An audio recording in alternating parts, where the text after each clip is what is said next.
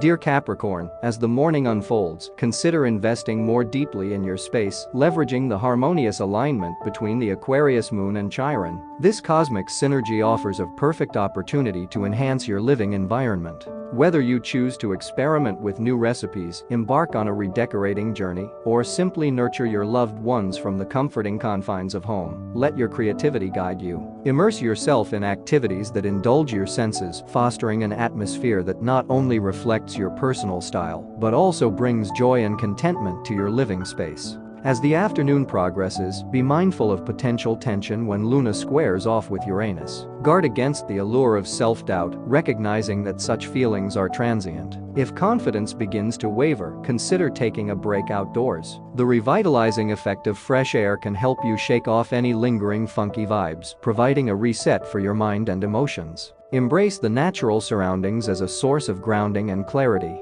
Later tonight, with the activation of the nodes of fate, a wave of good vibes permeates the atmosphere. Seize this opportune moment to foster emotional exchange with your family and close loved ones. Engage in meaningful conversations, share thoughts and feelings, and strengthen the bonds that bring a profound sense of warmth and belonging to your life. In summary, dear Capricorn, elongate your day by delving further into enhancing your living space, guided by the harmonious alignment of the Aquarius moon and Chiron. Navigate potential tension in the afternoon with self-awareness and a refreshing outdoor break.